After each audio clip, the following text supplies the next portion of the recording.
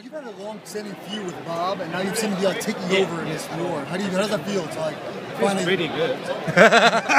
Feels pretty good. elaborate? I think you know. I think I think the difference, uh, and you guys are covering the sport, and I don't need to blow our own horn, but I think the difference between us and there was a time when we were pretty much even, and I think if you're honestly and honest in assessing the current situation in the sport of boxing, I think the difference between us and Top Rank is getting bigger and bigger and bigger, and. Uh, you know, it's uh, as Floyd says, it's hard work and dedication, and uh, treating the fighters right, compensating them right, and uh, building up relationships. And that's what I believe in in relationships.